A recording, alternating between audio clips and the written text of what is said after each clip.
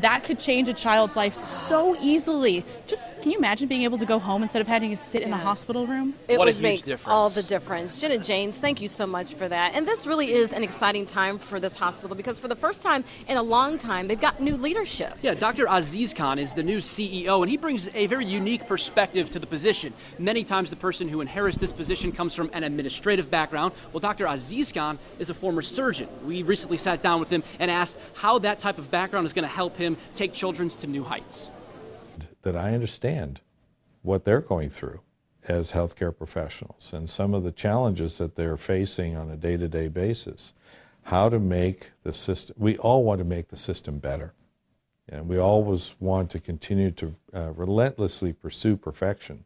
Uh, we, we want to be the best that we can be.